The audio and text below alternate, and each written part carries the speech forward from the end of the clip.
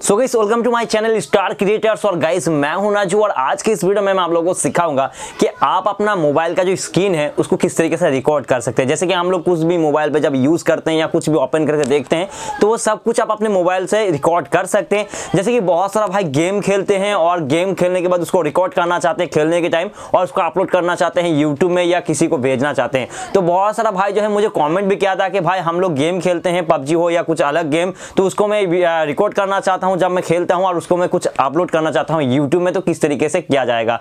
तो नॉर्मली इस वीडियो में आपको बताऊँगा कि आप अपना मोबाइल का जो भी स्क्रीन है उस, उसको जो है किस तरीके से आप रिकॉर्ड कर सकते हैं आपके मोबाइल के माध्यम से। सो गाइस मैं हूँ नाजू और स्वागत आपको स्टार क्रिएटर्स चैनल पर सो गाइस चलिए आज का वीडियो स्टार्ट कर लेते हैं। सो so आज का ये वीडियो स्टार्ट करने से पहले मैं आप लोगों से कहना चाहूँगा, अगर आपको YouTube के बारे में कुछ भी जानकारी लेना हो या कुछ भी सवाल करना हो तो हर वीडियो के कमेंट में जाके मुझे कमेंट कर सकते हैं या सवाल कर सकते हैं। मैं हर सवाल को बारीकी से पढ़ने के बाद उसका आंसर देने की कोशिश करता हूँ। और गाइस बहुत सारा भाई मुझे सवाल किया था इसके बारे में जो भाई हम लोग स्क्रीन रिकॉर्ड किस तरीके से कर सकते हैं अपने जब गेम खेलते हैं उस टाइम पे।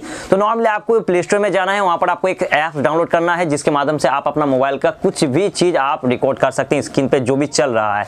तो नॉर्मली मुझे जाना पड़ेगा इस टाइम यहाँ पर प्ले स्टोर में। यहाँ पर आप देख सकते हैं, मैं आपको दिखाने की कोशिश करूँगा और जो मैं आपको दिखा रहा हूँ, ये भी शूट हो रहा है मतलब कि ये भी रिकॉर्ड हो रहा है उसी ऐप्स के माध्यम से, जिस ऐप्स के बारे में मैं आज बताने जा रहा हूँ। तो यहाँ पर आप नॉर्मली प्ले स्टोर में जाकर सर्च कर लीजिए ए जेड स्क्रीन रिकॉर्डर यहाँ पर अगर नॉर्मली आप लिखते हैं सॉरी ए और जेड तो यहाँ पर आपको देखने को मिल जाएगा, एक मिनट। यहाँ पर ए और जेड लिखने से अगर आप पेज देते हैं तो यहाँ पर आपको सामने आ गया है, देख सकते हैं। ए जेड स्क्रीन रिकॉर्डर तो नॉर्मली यहाँ पर आपको इसको सिलेक्ट करना है और जब इसको ओपन करके यहाँ पर आपके सामने कुछ इस तरह का इंटरफेस आ जाएगा। और यहाँ पर जैसे कि मुझे दिखा रहा है ओपन तो जैसे कि हमने इसको बहुत पहले से डाउनलोड करके रखा है, इसलिए यहाँ पर ओपन दिखा रहा है। तो आप नॉर्मली इसको सबसे पहले डाउनलोड कर लेना, इसके बाद इसको ओपन कर लेना। और जब यहाँ पर ओपन करने की कोशिश कर रहे हैं तो यहाँ पर आप देख सकते हैं साइड में कुछ ऑप्शन आ गया है। क्योंकि ये ऐप्स जो है, इसके माध्यम से मैं वीडियो शूट कर रहा हूँ, ये ओपन हो चुका है। इसीलिए यहाँ पर कुछ इस तरह का ऑप्शन दिखा रहा है। तो जब आप ओपन करेंगे तो आपके सामने एक नया पेज आ जाएगा, किस तरीके से आता है, क्या करना पड़ता है, मैं आपको दिखा रहा हूँ, क्योंकि यहाँ पर तो नहीं होगा। मैं डायरेक्ट आपको मोबाइल से दिखाने की कोशिश कर रहा हूँ।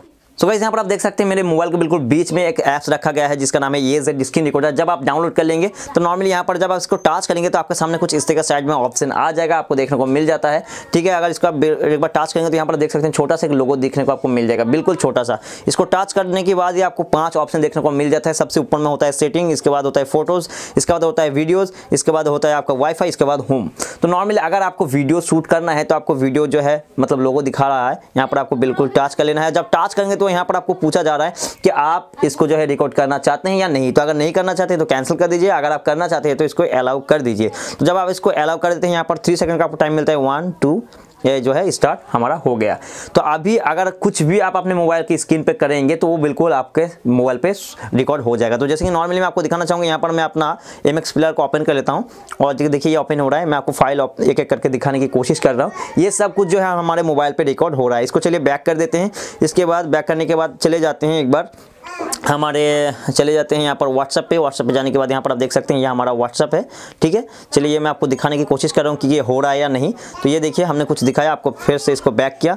इधर दोबारा हमने चेक करने की कोशिश किया इस तरीके से।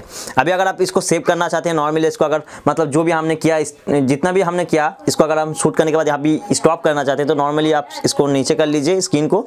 ठीक है सबका नीचे से नहीं होता है नीचे से भी होता है ऊपर से भी होता है। तो नॉर्मली यहाँ पर आप देख सकते हैं ए जेड स्क्रीन रिकॉर्डर इसके बाद आपको तीन ऑप्शन दिखा देखने को मिल रहा है। ठीक है यहाँ पर देख सकते हैं पॉज है और स्टॉप है और एडिटिंग है। तो नॉर्मली अगर आप इसको यहाँ पर ख़त्म करना चाहते हैं तो नॉर्मली आपको बीच का जो ऑप्शन है यहाँ पर आप दबा दीजिए इस टच कर दीजिए तो ये हमारा शूट हो गया। यहाँ पर आप देख सकते हैं जो भी हमने रिकॉर्ड किया या हमारे जो है मोबाइल पे सेव हो गया है यहाँ पर दिखा रहे हैं। तो आप चाहे तो यहाँ पर से आप वीडियो को देख भी सकते हैं हमने इतना इतना टाइम में क्या क्या शूट किया। तो चलिए इसको ओपन कर लेते हैं मैं आपको दिखाने की कोशिश करूँगा। ये देखिए। अगर कुछ भी आप अपने मोबाइल की स्क्रीन पे करेंगे तो वो बिल्कुल आपके मोबाइल पे रिकॉर्ड हो जाएगा। तो यहाँ पर आप देख सकते हैं। दिखाना चाहूँगा यहाँ पर मैं अपना एम एक्स प्लेयर को ओपन कर लेता हूँ। और देखिए ओपन हो रहा है। मैं आपको फ़ाइल एक एक करके दिखाने की कोशिश कर रहा हूँ। तो वैसे आप लोग देख सकते हैं, जो भी हमने अभी अभी बताया, वो सब कुछ हमारे मोबाइल पे रिकॉर्ड हो चुका है। तो आप भी इस तरीके से अपने मोबाइल को मोबाइल की स्क्रीन को शूट कर सकते हैं। गेम हो या अपने अपने मोबाइल पे जो भी आप करना चाहते हैं, उसका अगर शूट करना चाहते हैं तो कुछ इस तरीके से आप कर सकते हैं। उसके लिए आपको normally A Z screen recorders download कर लेना है।